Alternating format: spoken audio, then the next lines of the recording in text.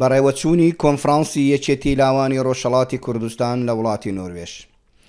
سەرلەبەیانوی ڕۆژی یەکشەممە بیست و سێ ڕێبەندانی هەزار و چوار سەد و یەک ی هەتاوی یەکێتی لاوانی دێموکڕاتی ڕۆژهەڵاتی کوردستان لە وڵاتی نۆروێژ کۆنفرانسی گشتی خۆی بە بەشداری ژمارەیەکی بەرچاوی ئەندامانی لەو وڵاتە پێکهێنا. سەرەتای کاری کۆنفرانس بە سروودی نەتەوایەتی ئەی ڕەقیب و ساتێک بێدەنگی بۆ ڕێزگرتن لە فیداکاری و جانبازی ڕۆڵەکانی کوردستان دەستی پێ کرد.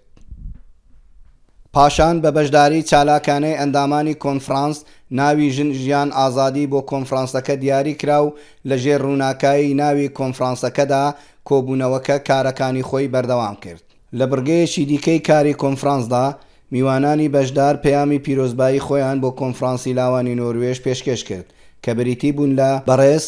خوسرەو قادری پەیامی کۆمیتەی حیزبی دێموکڕاتی کوردستانی ئێران،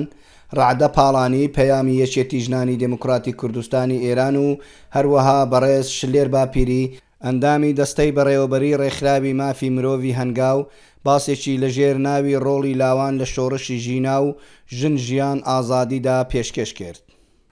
پاش پەیامی میوانانی بەشدار، هاوڕێ بەڕێز ڕامیار ئەحمەدی بەرپرسی کۆمیتەی گشتی یەکێتی لاوان لە دەرەوەی وڵات، کردنەوەی کۆنفرانسی بە پێشکێش کردنی پەیامێک بە فەرمی ڕاگەیاند. لە بەشێکی دیکەی کاری کۆنفرانسدا،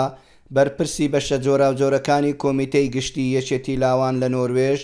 راپۆرتی ساڵانەی کار و چالاکییەکانیان بۆ بەشدارانی کۆنفرانس خستە بەرچاو لە کۆتاییدا و بە بەشداری ئەندامانی کۆنفرانس راپۆرتە پێشکێشکراوەکان دوای تاوتوێکردنی پەسندکرا. کۆتا بەشی کاری کۆنفرانس هەڵبژاردنی ئەندامانی کۆمیتەی بەڕێوەبەری یەکێتی لاوانی دێموکڕاتی ڕۆژهەڵاتی کوردستان بوو کە لە نێوان ئەو ئەندامانەی خۆیان کاندید کردبوو پێنج کەس هەڵبژێردرا پاش هەڵبژاردنی ئەندامانی دەستەی بەڕێوەبەری کۆنفڕانس لە فەزایەکی ئازاد و زۆر دێموکڕاتیکدا کۆتایی بە کارەکانی خۆی هێنا.